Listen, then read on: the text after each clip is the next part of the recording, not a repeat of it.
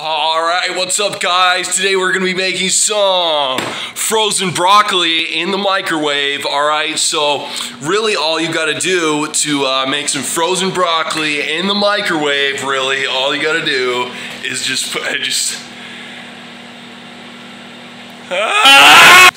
So, like I said, guys, all you gotta do is put your fro Take your frozen broccoli, all right? Don't look at the cook time instructions because that shit's gonna tell you put it right in a fucking saucepan.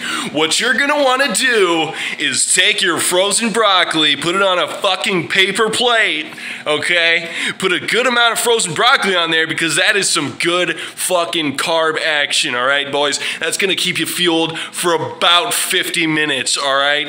Whereas if you ate a fucking sandwich with bread, like what are you, a fat piece of shit? Get out of my fucking house. So anyway, guys, the broccoli's almost done, and we're looking at about a minute and three seconds here. Oh my God, we're looking at uh, 59 seconds. So when you're at this point, you should start getting your seasonings ready, you know? So I like to put a little bit of, uh, you know, this might be a little controversial out there, but uh, I like to put a little bit of salt, a little bit of salt, and a little bit of pepper, a little bit of pepper. And if you're really feeling like you're not getting enough saturated and unsaturated fat in your diet, pick up some fucking some of this shit. It's pretty good. All right, guys, the broccoli's almost done. I cannot wait. Oh my God, you guys. This is super exciting. It's a, oh my God.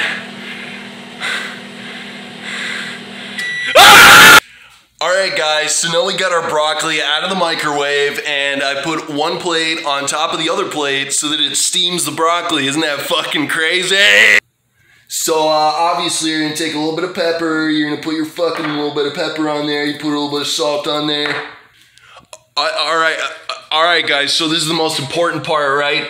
When you're scooping butter, out of the out of the anti-butter container. You need to make sure, you need to look at that shit. You need to make sure that no motherfuckers left crumbs in the butter.